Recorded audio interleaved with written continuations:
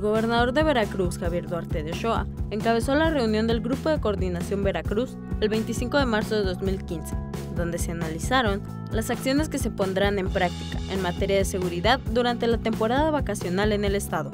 Durante la reunión de trabajo se evaluaron las acciones y estrategias, así como los resultados obtenidos en materia de seguridad, con la finalidad de garantizar la estabilidad y tranquilidad de toda la población veracruzana. La reunión que se llevó a cabo en las instalaciones del 63 Batallón de Infantería del Ejército Mexicano, estuvieron presentes mandos navales, militares, de seguridad pública y procuración de justicia, entre otros.